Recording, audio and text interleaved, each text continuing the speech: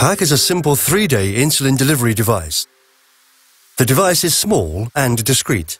It allows you to manage your diabetes without multiple daily injections. PaQ has only two components, a disposable insulin infuser providing three days of consistent basal insulin along with discrete on-demand bolus insulin and a reusable messenger unit, notifying you when it's time to replace PaQ.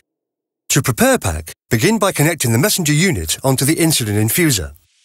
A green light and vibration confirms the connection. Then draw insulin with a supplied syringe and fill the infuser. PaQ is now ready.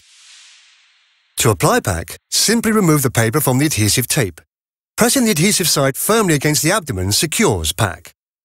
Then press the device to insert a small flexible tube called a cannula into the abdomen. PaQ is set and delivering the preset basal insulin rate. Now you can go and live your life for the next three days. Enjoy activities, shower and swim. At meal times, a bolus dose is easily administered by pushing the bolus button. Every button click provides two units of insulin. By pressing the messenger unit button, a discrete vibration will indicate if it's time to change the device.